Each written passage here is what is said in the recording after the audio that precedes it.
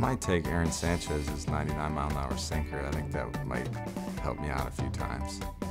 I'm just gonna go easy. I never got to see, growing up, my favorite basketball player is Larry Bird. I never get to see him play. I did get to see Michael play a few times, so uh, I would like to go see uh, Larry play, play in the finals.